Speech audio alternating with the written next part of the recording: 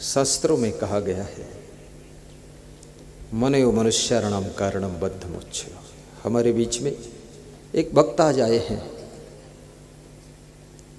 शायद कानपुर तरफ़ से आई है। अवधेशानंद नाम है, खड़े हो।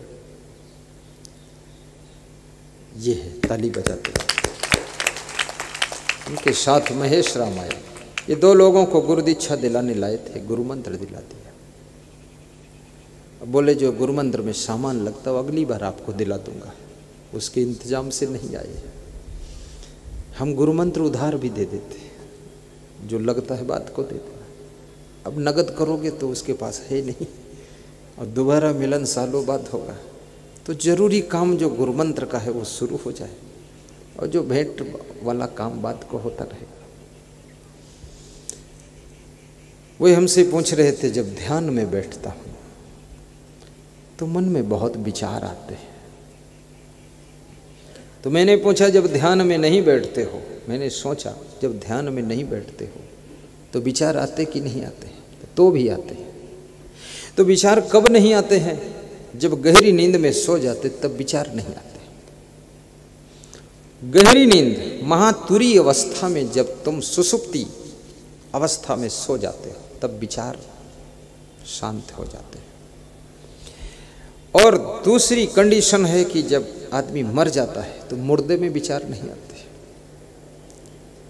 और ध्यान में जब तुम बैठते हो तो और ज़्यादा विचार आते हैं। ध्यान में नहीं हो, अभी आँखें खुली हैं तो कम विचार उठ रहे हैं। लेकिन आँखें बंद करके तुम देखो कितना खतरा है। थोड़ी देर बंद करा दो, फिर देखना तुम कितना लंबा कारखाना खोल कर बैठोगे। एक मिनट में न जाने कितने विचार आपके अंदर आ जाएँगे। तुम्हारे अंदर ये भी मन में आ जाएगा, घर का दरवाज़ा खुला तो नहीं रह गया है। खिड़की के ग्रिल बड़े बड़े हैं, उसमें से बंदर तो नहीं घुस गया, खिड़की खुला रह गई। बंदर की भी याद आएगी। और ये याद क्यों आता है?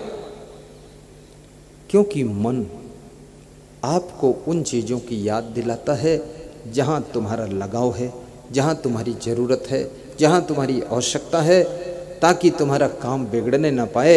इसलिए मन हमेशा निरंतर अलर्ट होकर के नए नए विचारों को याद दिलाता रहता है कि तुम्हारा काम बिगड़ने ना पाए। उसके अंदर वो एक रील चलती रहती, फ़िल्म चलती रहती है। तो लोग चाहते हैं कि मन शून्य हो जाए। लखनऊ में एक मिशन में ध्यान कराया जा रहा था तो मैं भी बैठा था उसमें। तो उसमें एक आदमी सो गया, कुर्सी पर गर्दन झूल गई उसकी। और इतना सो गया कि नाक बजने लगी, गला बजने लगा। तो मैंने कहा, ठीक है, ध्यान में कोई म्यूज़िक नहीं था तो ये म्यूज़िक बजा रहा है। अब इतनी नाक गला घुर रहा है कि मेरे, मैं तो उसके ध्यान के बीच में चार पाँच बार आँखें खोल कर देखा। मेरे मन में था, उठ के इसको धक्का दूँ, भाई, नाक मत बजा, भले तो आँख खोल कर बैठ जाए लेकिन उठूं तो भी डर था, डिस्टर्ब हो जाएगा दूसरों को। तो उठ भी नहीं सकता था। तो उसकी पड़ोस जो बैठा था, मैं सोचता था, ये पड़ोसी भी बड़ा निकम्मा है। कम से कम थोड़ा ढकेलना चाहिए। अब नाक गुड़गुड़ा रहा है, बजा रहा है तो बोलना चाहिए, कुछ कहना चाहिए।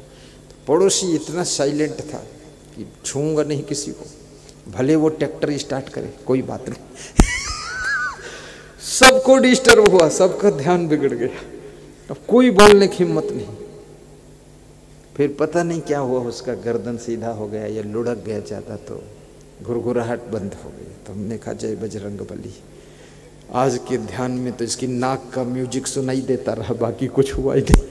भगवान की याद करने ही नहीं दिया। ध्यान, ज्ञान की जब चरम स्थिति को तुम प्राप्त करते हो, उसके बाद गुरु गोरखनाथ ने कहा है, हंसबा, खेलबा, धरीबा ध्यानो हँसते हुए, खेलते हुए, काम करते हुए भी तुम्हारा ध्यान लग जाता है जब तुम ज्ञान को प्राप्त हो जाते हो। ज्ञान के अधूरेपन में ध्यान नहीं हो सकता है।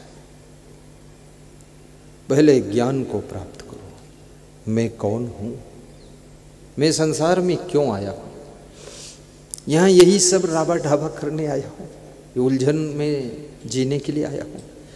इतना दुखी होने के लिए जन्म लिया हूँ। इतनी भारी टेंशन ये सब क्या कर रहा हूँ? थोड़ा अपने से प्रश्न भी पूछा करो। और स्वयं से जो प्रश्न पूछने लग जाएगा, उस व्यक्ति को स्वयं से ही उत्तर आने लग जाएँगे। क्या ज़िंदगी इसी का नाम है? आज हमारे भक्त